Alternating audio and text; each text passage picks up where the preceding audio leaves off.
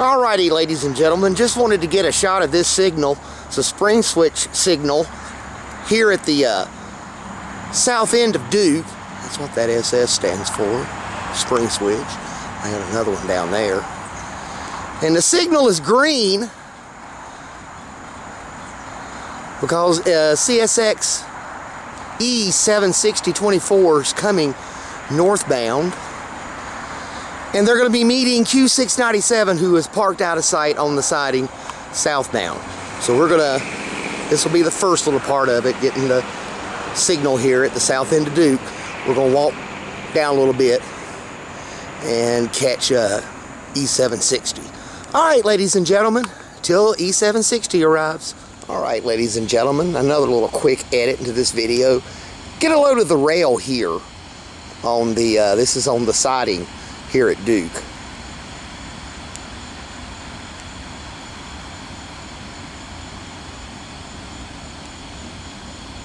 Right there. 1939.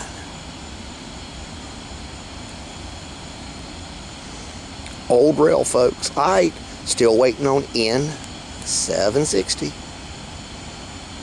Nope, nope, nope. E760. It's an empty coal run. E760. Hi. Alrighty, ladies and gentlemen. As promised, coming northbound is going to be empty coal run. The E760 24.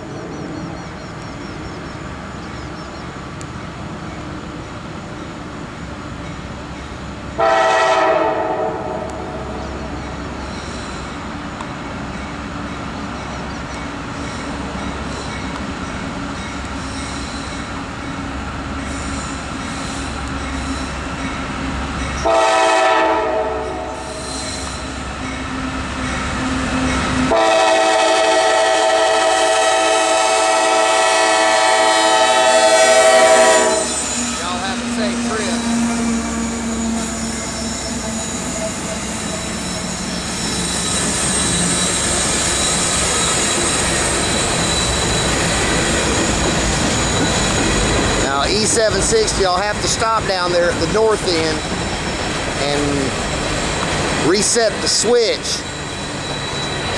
from siding to main back to main to main. Yeah, this is the Duke siding caught one up here before, caught 696 one time coming by here.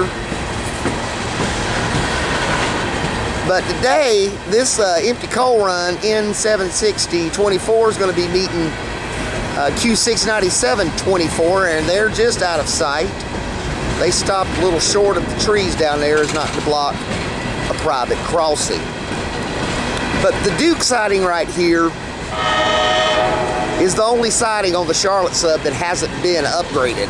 And it's still doing the manual spring switch deal that it's been doing for, well, 40 some odd, 40 some odd years that I remember. So the- the Duke siding on both the north and south end, it's a manual switch to line in going into the siding and then resetting it back to the main. But coming out of the siding, there's a spring there. You don't have to stop. You can just pull right out of the siding. That's basically what a spring switch does. Resets the uh, switch main to main without anybody having to get out and operate it. Now, once upon a time, back in the SAL days, this siding and Cherryville were the only passing sidings on the Charlotte sub between Monroe and Bostic. And they merged right after, right during the time that Seaboard Airline and Atlantic Coastline merged. Uh, Seaboard ended up picking up the old P and they could have used the P and N as a siding. Uh, they didn't. I don't think they had the crossover there on the east side of Mount Holly like they uh, do now, but uh, they did have the connection there, you know, right on the east side of, of downtown Mount Holly. So they may have and could have used that as a siding after, say, about 1967, 68, whenever they bought the P&N in 69, something like that. and it remained that way up to the 80s. got the Shelby put put together the Shelby siding. If I'm not mistaken, that siding was uh, made about the early 80s when Southern Railway started abandoning segments of their SB line. And the Shelby siding is, at least to some part, where the SB line and the uh, Seaboard Coastline Charlotte sub ran parallel. Then up, fast forward up to the 90s, uh, CSX built a, a siding just on the other side of Belvedere. Belvedere Road, or whatever that little road's called, going uh, paralleling the Brookshire Freeway. First, they used to call that siding Tryon back when, in the days when they were using blocks to control the traffic, but when they switched to the track authorities or EC1, started calling that siding Freedom. And all about the same time, they built a crossover east of Mount Holly that crossed over a portion of the old P&N SFE line to the main line and called that the Mount Holly siding. So now they've got, what, Freedom, Mount Holly, Cherryville, and Duke, and Shelby. So they got five sidings between uh, Oh, they're getting track one. Somebody released.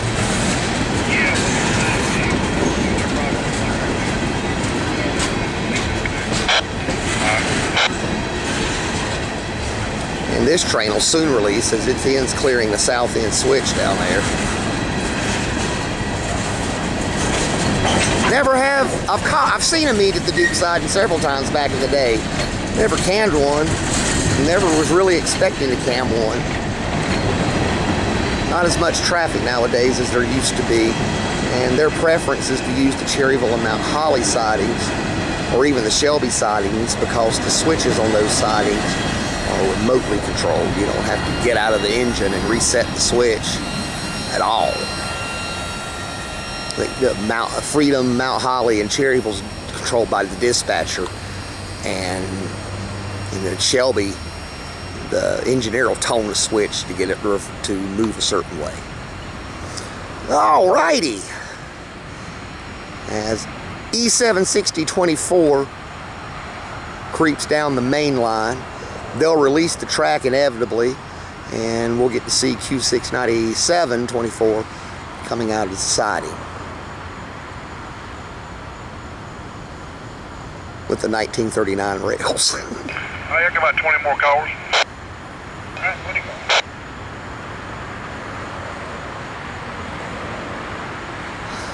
All right, we'll uh, pause it here until uh, 697 gets their EC1 and gets on the move. All right. Ladies and gentlemen. Q69724 has got an EC1 southbound siding to main out of Duke up to the uh, north end of Cherryville. They'll be meeting S696 at Cherryville. Everything being equal, I might be able to snag them. I gotta stop and get some gas though. That won't kill me.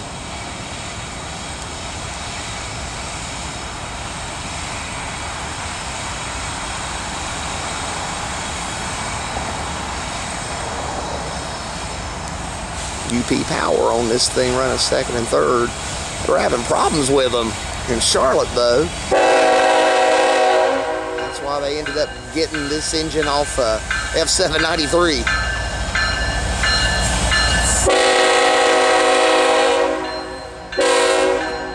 Y'all have a safe trip.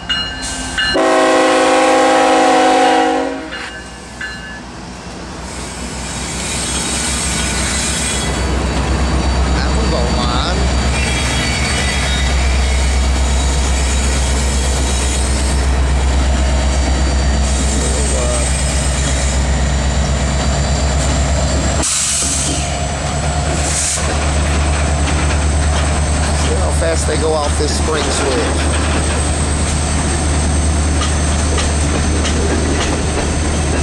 Now 49, UP4976 isn't online. Maybe that was the one they were having problems with.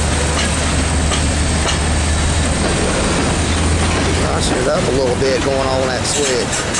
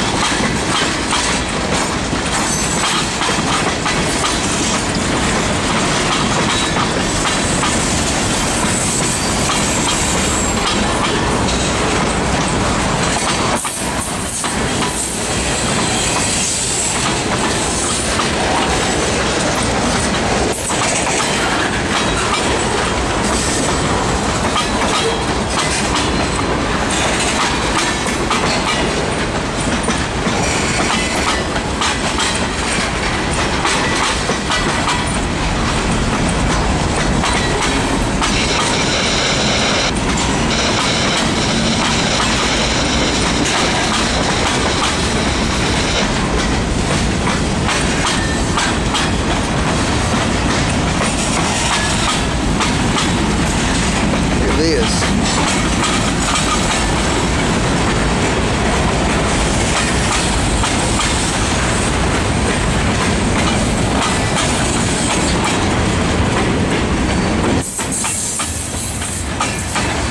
Wow.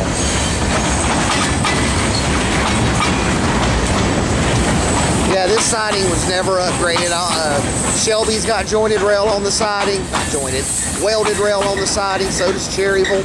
So does Freedom, uh, but not Duke. So does Mount Holly, I think. I don't know. They might have welded rail on the whole portion of the siding. I'll double check that and get back to you on that.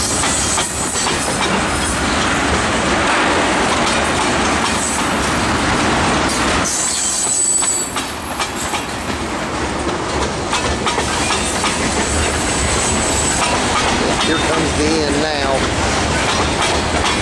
Don't know if I'll get a good view of that spring switch re uh, reset. We'll see.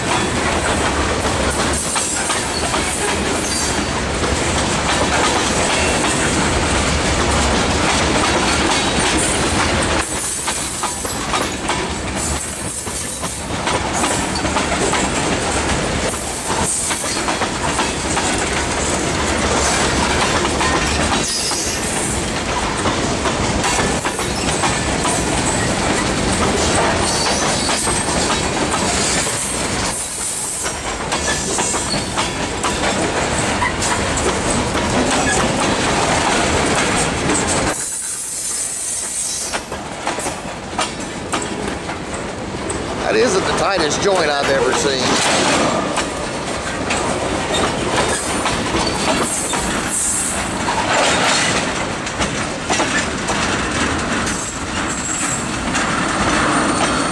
Let's see.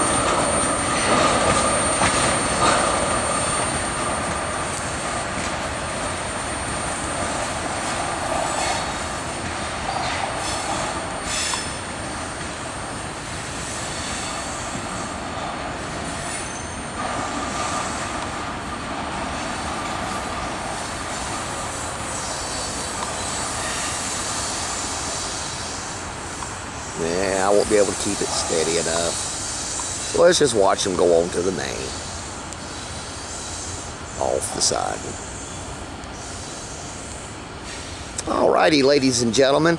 This video uh, be in, in our E76024 meets Q69724 at Duke. Alright, on our way to Cherryville.